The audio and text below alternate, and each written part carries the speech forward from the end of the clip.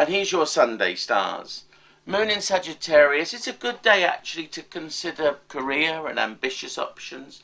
I know it's a Sunday and for you it may be a day of rest, but that shouldn't stop you thinking about your next move professionally. And this is more about vocational things, vocational callings, being drawn towards something you've always wanted to do. If you connect that with yesterday's stars, which is about learning something that can really take you places, then you'll get my drift.